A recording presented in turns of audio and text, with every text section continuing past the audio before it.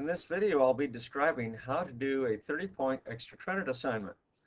And that will be using gas simulator a gas simulator.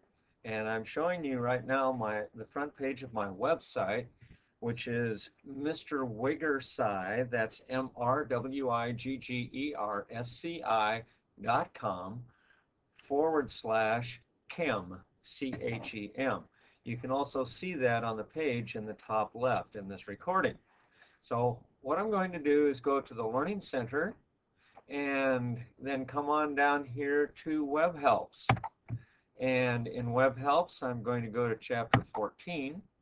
And in Chapter 14, under Gas Simulators, the very first one is the one that we will use for this assignment. So I'm going to go ahead and go there. And as we open this up and watch it start, you're now seeing the gas simulator in action. So, first thing off, you need to know how to use it. And if you want a tutorial on that, you can see where I am right here. I'm going to go ahead and go to the click here, that very first click here. And what that's going to do is open up a PDF document that will give me, first of all, complete directions and what everything means in this gas simulator. So you can have a written copy there. Next, uh, this would be on page four of this document. You can see the first possibility for points. This is a 10-point assignment. And it goes through and steps steps you through. You're supposed to do everything that it says in that particular um, little assignment. The next one is simulation B, and that will start on page 8 and that will show you another set of data that you're supposed to be collecting and whatnot. The last part is starting on page 11, and on page 11 there are some simulators or some systems for you to test out. And you can do any of these. Those first two assignments were 10 points each. This is also worth 10 points if you do at least five of these.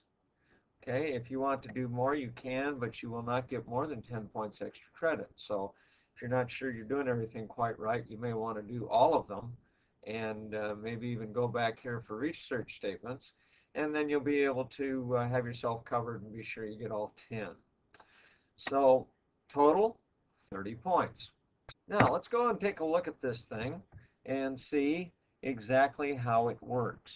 I'm going to invoke the thing from my website again, and uh, because I accidentally closed everything.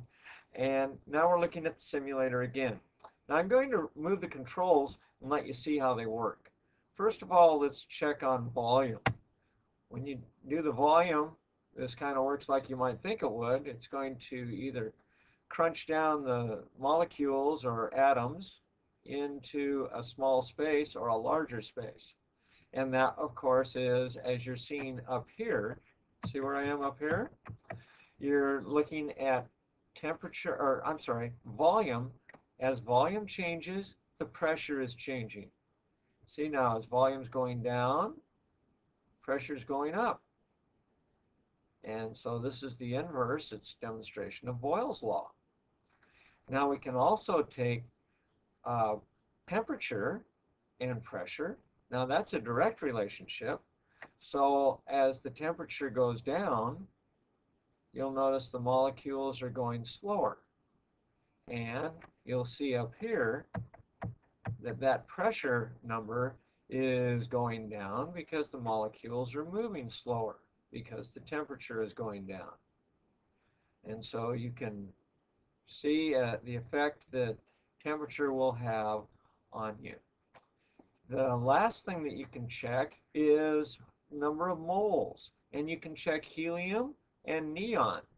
Those are the two that you can do with this slider or with this slider. So let's go and look at what happens with moving the moles of helium up.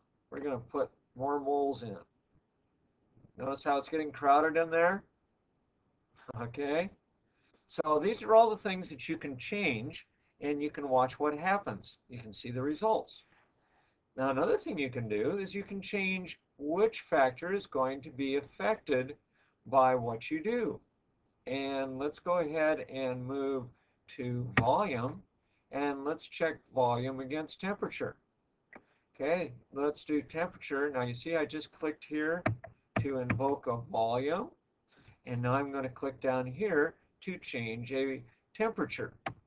As the temperature goes up, because this is a direct relationship, we're going to be seeing the plunger move up because it's going to push that guy out. All right, and you can see from looking at this number and from looking at this number what happens as you move this thing up and down. Now another fun feature of this simulator is you can enable tracking by clicking here. And look what that does. There's one little molecule in there always that has an X on it. It always has an X on it. And that one allows you to keep your eye on one thing and see what's happening to that one molecule.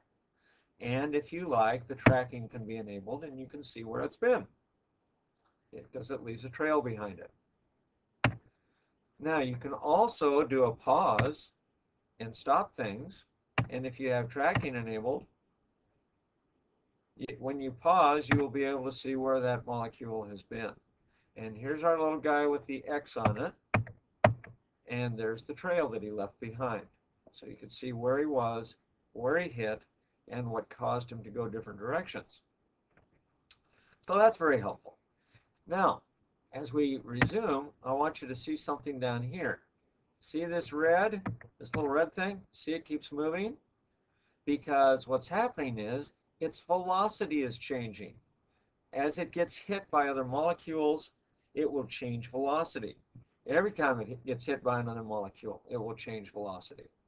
And so it's going to be in a different position, uh, separated from the average, which is what this line represents, the average velocity of all the molecules. And you'll notice that average velocity is going to go up as I increase the temperature. And let's let's get back to doing pressure, and I can get the pressure up, or I can get the, the um, temperature up higher. And you'll notice temperature is in kelvins. And you see the temperature as it moves the average velocity moves. See it going back and forth? See, I'm moving here, but down here, where this line is, it's moving as well. Pretty cool stuff, huh? So you can play with this, get familiar with it, see how it works, and demonstrate the relationships. Even you, you can uh, you can track data, and uh, the the whole simulator thing will teach you how to do that.